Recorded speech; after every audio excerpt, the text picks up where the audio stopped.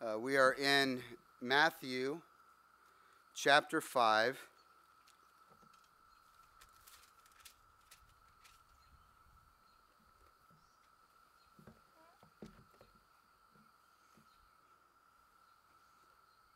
Matthew chapter 5, verses 31 and 32.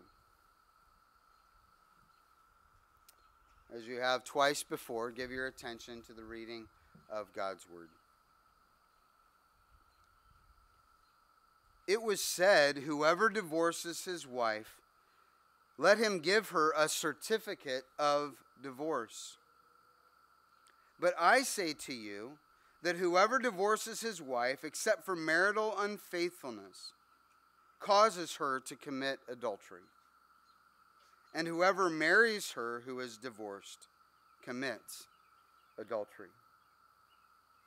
The grass withers and the flower fades but the word of our God stands forever.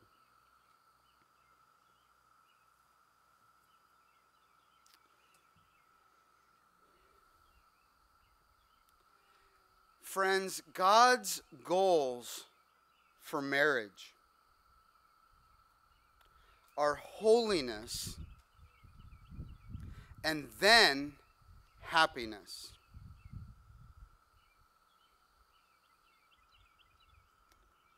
And I call you today to treat marriage accordingly.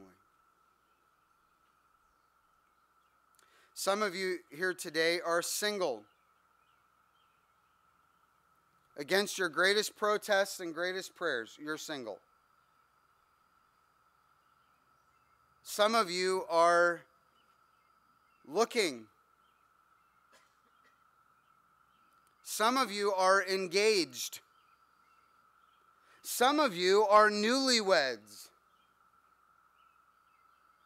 Some of you are oldly weds. Some of you might be struggling in this relationship of marriage. And I remind every single one of you that God's goals for marriage are holiness and then happiness. And so we ought to treat marriage accordingly. Remember, in this section of Jesus' Sermon on the Mount, he is reorienting us. He is taking the external teaching that's been falling on the outer ear, perhaps for weeks, months, years, generations, and he is pulling it through our ears down into our hearts, and He is reorienting us toward holiness. He's pulling us back from the brink that says, What can I get away with? How far can I go?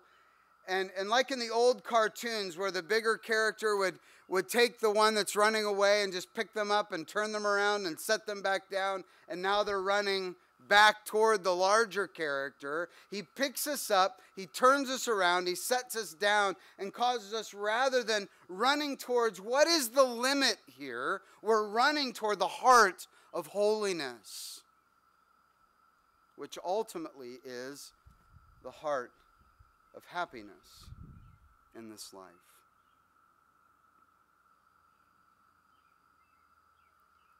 Whatever your relationship is to marriage. It's a future relationship, it's a present reality, it's been part of your life for a long time. We're called to improve that second love by our first love. To improve the marriage with our spouse, even if it's one that we are just yet expecting someday, we are to improve that by pursuing our first love, which is Jesus Christ. And this begins to get at the heart of what Christ is saying to us in these two verses. If we're going to do this, first we must understand the fullness of biblical teaching on the subject the subject of marriage and divorce. We have to understand that God's word speaks to this in a full way. As Jay Adams used to say, that the church suffers from placosis. We take our favorite verse and we hang it on the wall, and, and we focus on that verse, and he always desired to make contextual wallpaper that would hang on the wall uh, that would give the context of that verse. We need the full scriptural teaching on any given subject. This is called systematic theology. There are some who, who would like to think that the only verse in Scripture dealing with divorce is Malachi 2:16 and they say God hates divorce. He hates it. And therefore we should hate it and never allow it. Should never allow it because God hates it. But unfortunately for them, that is not the only verse in Scripture dealing with divorce. And the application of that truth, of how God hates divorce for those who are hearing it, was how they were dealing with one another. He doesn't say, so don't get divorced. He says, so don't deal treacherously with one another. And ultimately, as we read the Old Testament, we come to understand that God divorced faithless Israel. As they were unfaithful, he wrote them a certificate of divorce. We have Leviticus 24, which is where Jesus is pointing when he says, It is said. When Jesus says, It is said, we must always consider well, where was that said and, and who was saying it? And so we turn to Leviticus uh, 24. That is not it. Deuteronomy 24, thank you.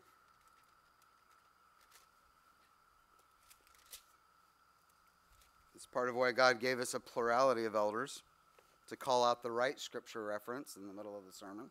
Deuteronomy 24. When a man takes a wife and marries her, and it happens that she finds no favor in his eyes because he has found some indecency in her, then let him write her a bill of divorce and put it in her hand and send her out of his house. When she departs out of his house, she may go and be another man's wife. If the second husband rejects her, and writes her a bill of divorce and puts it in her hand and sends her out of his house. Or if the second husband who took her to be his wife dies, her first husband who sent her away may not take her again to be his wife, since she is defiled, for that is abomination before the Lord. And you must not bring sin on the land which the Lord your God is giving you for an inheritance. So it's not just Malachi 2, it's Deuteronomy 24 as well. And this is where the two Pharisaical schools of thought that Jesus is dealing with in his day grow up out of Deuteronomy 24. And uh, some would say uh, if, if a man finds any uncleanness, and so they turned that any into the burning of the morning toast, or, or whatever frustrated or annoyed the man. He could write a certificate of divorce for his wife, send her on his way, and be done with her. And so they had, they had made the issue of divorce so broad that it had become meaningless. It was really whatever fancied the man. And then there were some who didn't say, any uncleanness, they would say any uncleanness. And so they, they hyper focused on the word uncleanness and made it so narrow that it was virtually impossible for there to be justice on the issue in the application of God's word. And these were the two schools that are uh, the, the, the two schools of thought that are swirling about in Jesus' day as he confronts this. And so we have Malachi 2, we have Deuteronomy 24, we also have Leviticus 24, but that has nothing to do with the topic. Uh, but you can look at that later and see what you might glean from it. We have Matthew 5, where we are. We also have Matthew 19, uh, where, where Jesus points them to this, this beautiful picture of Genesis 2, another text that we need in understanding marriage where Jesus explains to them how it had been from the beginning that it was not so. And so we come to understand that the law regulated divorce, but that does not mean that it was somehow proactively approving of divorce. This is what is meant when it's talked about about uh, within the Mosaic administration. There was uh, these certificates of divorce that were given because of the hardness of hearts.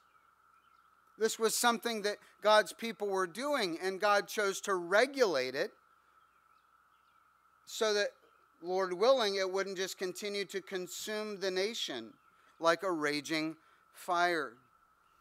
But here in Matthew 19, we find Jesus pointing back to Genesis 2 to the beautiful foundational picture of what marriage ought to be the one man and one woman in union together for life until death does them part.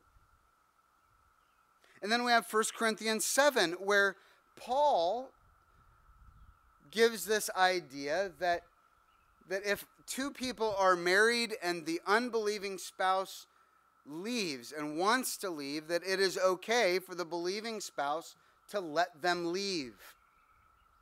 The issue of desertion, deserting the marriage. And so we see that, that there's a whole complex of Scripture that speaks to this issue. And as Presbyterians, part of our understanding of the fullness of teaching uh, of Scripture is understanding that in our confession, we believe that we find a summary of the fullness of scriptural teaching on the issue. And on this issue of divorce, we find uh, this in, in the confession in chapter 24. And we read this paragraph Although the corruption of man be such as it is apt to study arguments, unduly to put asunder those whom God hath joined together in marriage, yet nothing but adultery or such wilful desertion as can no way be remedied by the church or the civil magistrate is cause sufficient of dissolving the bond of marriage, wherein a public and orderly course of proceeding is to be observed, and the persons concerned in it not left to their own wills and discretion in their own case. And so we find we find teaching, we find admonition for how these things ought to be handled. And, and, and we're to remind ourselves that, that in the one Pharisaical school, they were the ones who were really studying uh, these arguments for why divorce could happen. As they were taking the principle and they were so generalizing it that it was left merely up to the will of man. We, we ought not to flip to the other side where it is so impossible that no justice can be done. No justice can be had for those who are the innocent party in a divorce. So we need to understand the fullness of biblical teaching on the subject. Second, we need to understand Christ's emphasis in this context of teaching on this topic. Remember, Matthew 5 is only one of the numerous texts that we find dealing with the issue of divorce. Sorry, just looking out, a reminder cicadas cannot hurt you. Okay? So, uh, careful out there, but they cannot hurt you. We need to understand Christ's emphasis in this context of teaching on this topic. There's a certain amount of hyperbole that Christ has been giving us in this section. A hyperbole that leads to an impossible situation for the hearers of Christ and the Sermon on the Mount. Just think of the section just above that we dealt with a couple weeks ago. How many of you, when you're on a road trip and your children are touching each other in the back seat, or in our car growing up, it wasn't even touching each other, it was crossing the invisible line. And I'm still bitter to my brother because I realized as a little guy I was naive. And when he'd look at me and go, I've already crossed the line 15 times, that he was lying to me.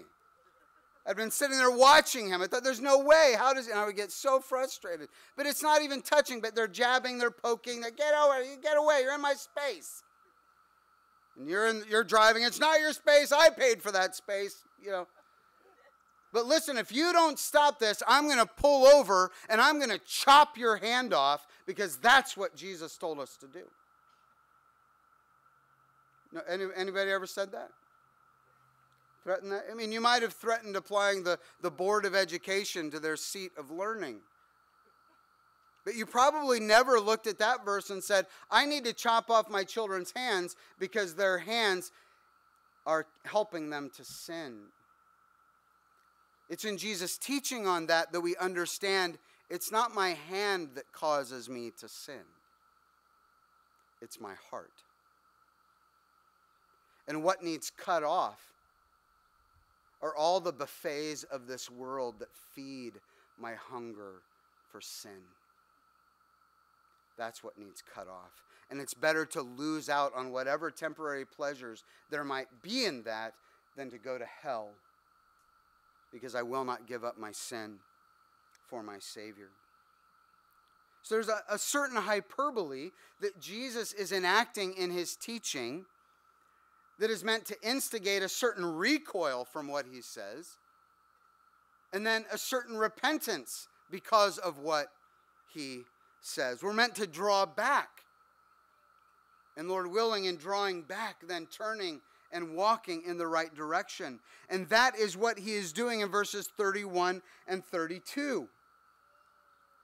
He's dealing with the legitimacy of the divorce, not divorce as a broad topic. That if you divorce your wife for just some willy nilly breakfast wasn't good reason, you're causing her to commit adultery and whoever marries her afterwards. See, part of a legitimate divorce is that the innocent party is free to remarry. And so Jesus is, in a, in a hyperbolic way, drawing that back.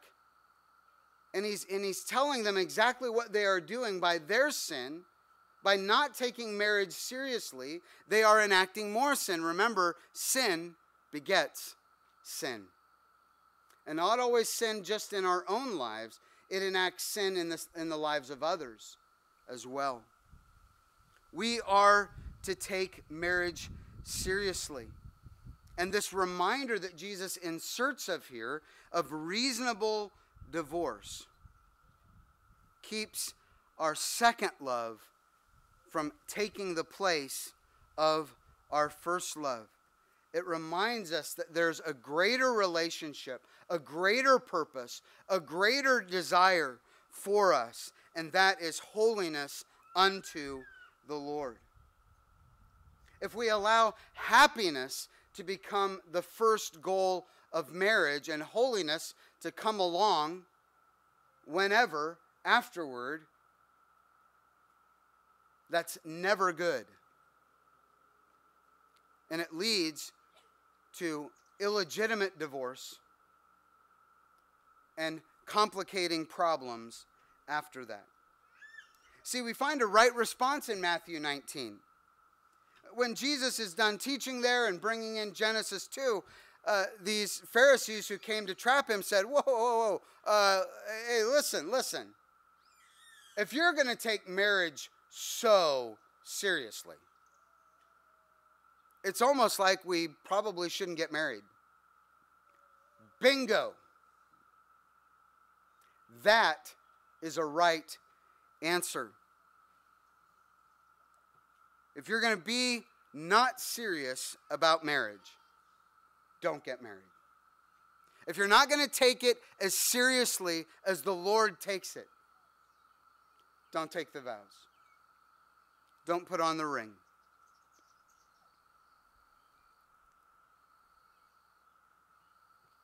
Here, Jesus gives this reminder of reasonable divorce. Porneia, in the modern English version, translates it marital unfaithfulness. And it's unqualified here. So it doesn't mean necessarily exclusively sexually sexual adultery. It can mean that, but it doesn't necessarily mean that when it's not qualified, as is the case here. So what does it mean? Come on, Joel, give us the flow chart.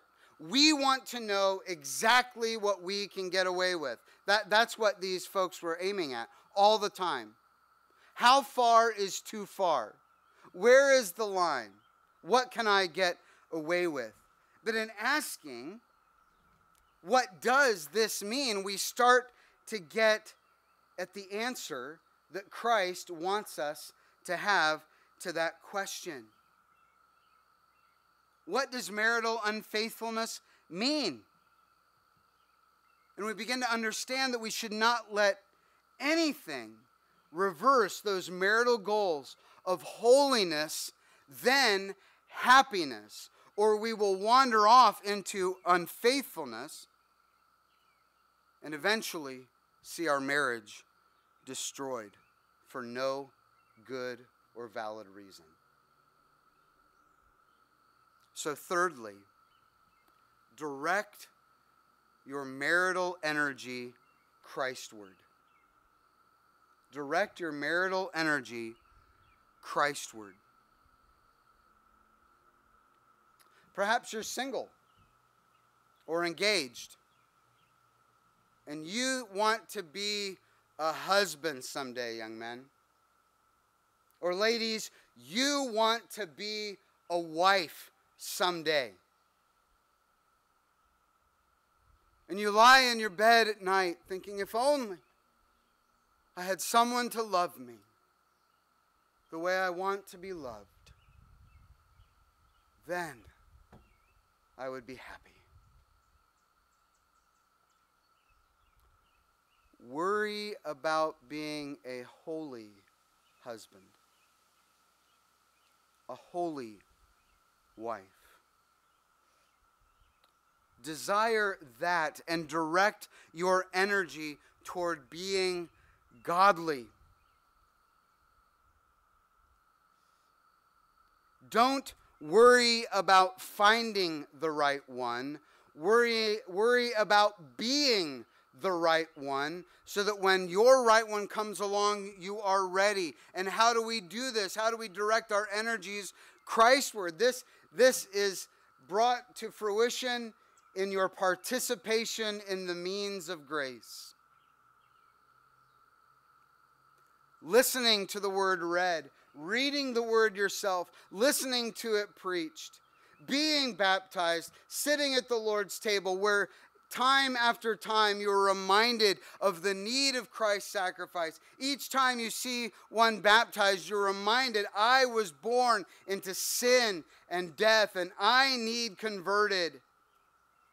I need a new heart. And each time we sit at the Lord's table, being reminded, I need to repent of my sins. I need to be pursuing holiness in my life. And then prayer prayer as well, as we spoke of last week, pouring our hearts out to God and finding ourselves being sanctified in the midst of doing so. You participate in the means of grace so that you're ready when the right one comes along, because the right one is a righteous one. That's what you desire and, and should long for? And will your thoughts and your words and your deeds be the kind of thoughts, words, and deeds that will attract someone who desires to be with someone with righteous thoughts, words, and deeds? Time after time in marriage counseling, find a man and a woman, and there's a reason why they're in marriage counseling. It's because things aren't going well. Few people say, you know, things are going so well, let's go get some marriage counseling to see how we can improve it, make it even better. No, I so often get, hey, we're on our way to the courthouse to file divorce papers, but we thought we'd swing by the church and see if you can do anything.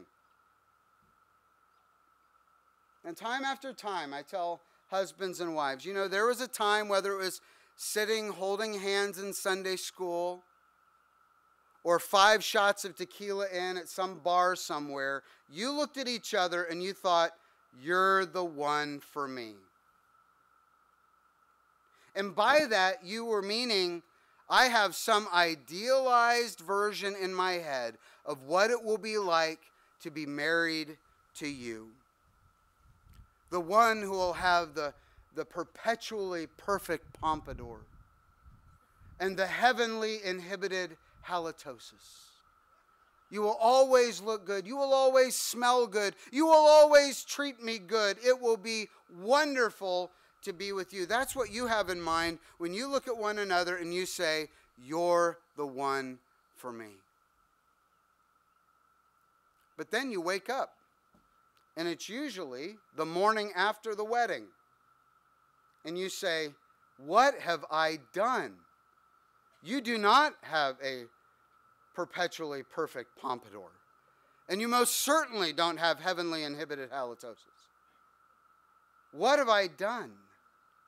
And it's then that we're able to zoom out and see it from God's perspective, where God says, Oh, this sinner over here and this sinner over here, I made them for each other. And there is something about how each of you sin that is meant to provoke righteousness and holiness in the other. We think, but my spouse, it's, their, it's them. They're the, they're the problem. They are so selfish. They only want things their way. So often, in saying that, we realize, oh, wait. I'm kind of describing myself, too. Because I'm mad about them being selfish and wanting things their way because I'm much more comfortable in being selfish and having everything my way. This sinner and this sinner, I have made them for each other. And 24 7, 365 days a year, if you're blessed to make it to 50 years of marriage, that means 18,250 days you have woken up as a married couple with the opportunity to pursue Christ, to pursue holiness and then happiness. And all the reminders along the way that when you get those priorities reversed and you pursue happiness first, that you wander off into unfaithfulness and it can destroy your marriage. So, fourthly, develop your second love through pursuing your first love. Grow your love of your spouse through loving your Savior. Again, maybe you're single, maybe you're looking, maybe you're engaged, maybe you're newly married, maybe you're in a great marriage, maybe you are in a struggling marriage and you think, how do I fix, how do I get, how do I improve my love for my spouse? If you make love for your spouse the thing, the first thing, that idolatry will kill your marriage. But if you make love for Christ the first thing, your love for your spouse will grow as well. And again, pursuing this through the means of grace. And if you're struggling to love your spouse, you already love them, you want to love them more Begin to see them as Christ sees them. Stop expecting them to be perfect and understand that they are a sinner too, like you. Stop living in that disappointment that your spouse sinned. Serve them with the love of Christ. if you wait for them to be perfect before you serve them, you will never serve them. That, that's like waiting to get married when you can afford it, or waiting to have kids when you have the money. There's not enough money in the world. If you wait to love and serve your spouse till they're living exactly the way they should, think how big of a problem it is if they're doing the same thing. See them as Christ sees them. Serve them with the love of Christ. Share with them the fruits of the Spirit that God is working in your heart and life.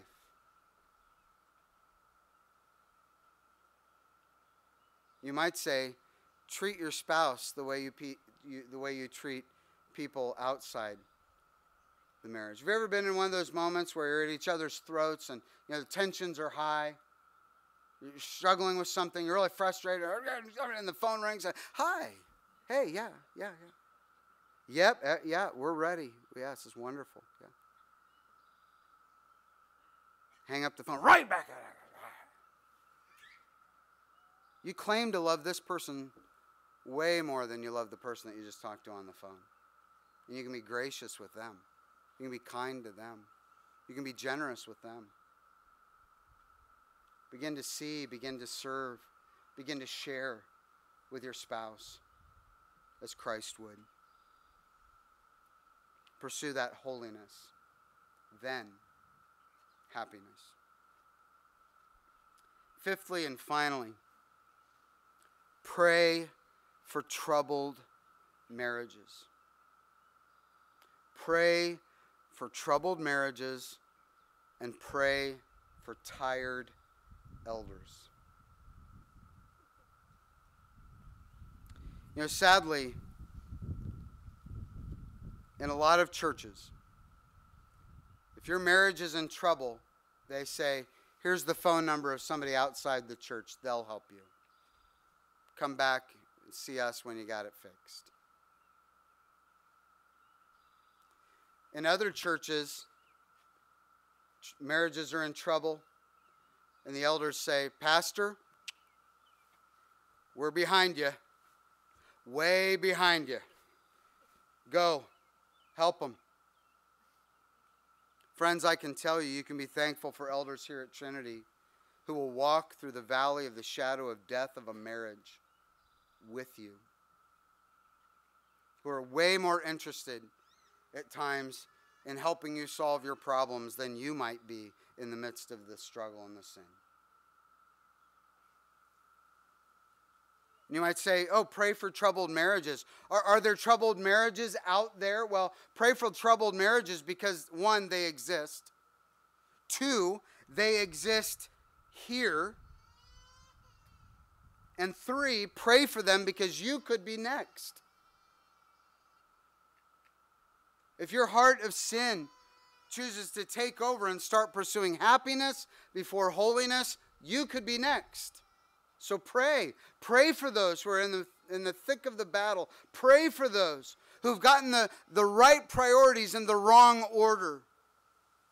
Pray for those who are struggling, who are tempted to give up. And, and brothers and sisters, listen to me. If that is you, if you are struggling to hold on in your marriage, if you've been formulating the exit strategy, if you've been checking the exits as you drive by and think, one of these exits is going to have what I want and I am out of here. If that is you, come talk to me today.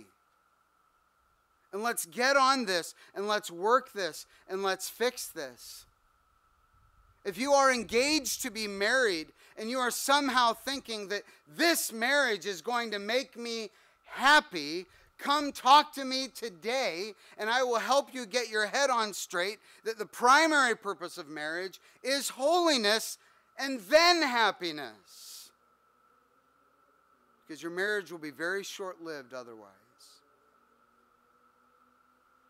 And if you are single, Spend time on your knees praying for your friends who are married, praying for your Lord willing future spouse, praying for yourself that you would be walking in holiness, that you would be faithful in the means of grace, so that when the right one, who's a righteous one, comes along, you will be ready.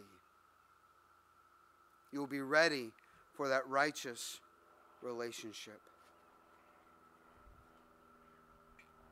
Marriages are in trouble, and they're not to be left to their own wills or desires in their own case. And again, this brings us back to why you need to pray for your elders. Because guess where that falls? Guess where that wisdom falls, that counsel falls, that encouragement falls? It falls on our shoulders. And we need the energy and the desire and, the passion to walk with and, and uphold and pray for and counsel those marriages that struggle. And why is this so important? Why do we need to pursue holiness, then happiness, so that we don't wander off into unfaithfulness and needlessly end a marriage and thereby create more sin in the lives of the people around us? Because all of this is rooted in and springs from the biblical truth that we are the bride of Christ and we are being sanctified and we are being made holy for that great wedding day, the wedding feast of the Lamb. And so, our priority as God's people is holiness.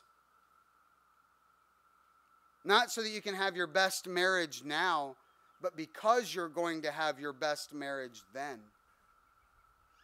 When we are face to face with Christ, our Savior, and our husband brothers and sisters, God's goals for marriage are holiness and then happiness.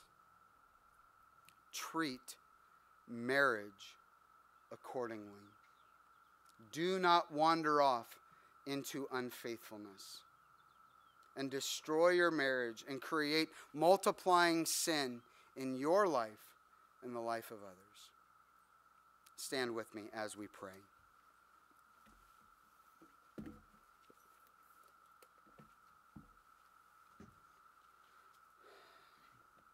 Our gracious God, our Heavenly Father, how glorious that you have not just called us to holiness, but you have enacted all of the means that we might be made holy.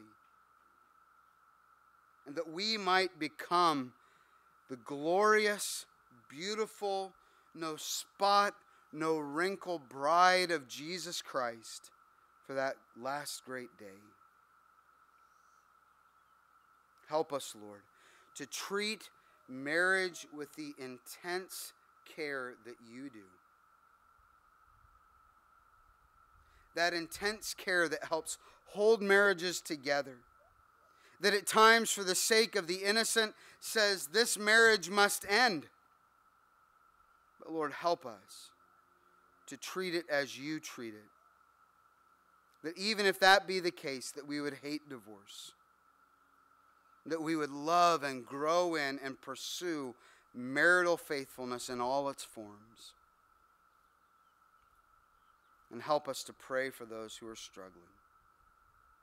Help us to uphold them in prayer, but also in friendship, in wise and godly counsel, and nudging them toward the holiness that is theirs in Christ Jesus, that their marriage is provoking them to. We ask these things in Jesus' name. And, church, let us pray together. Our Father, which art in heaven, hallowed be thy name.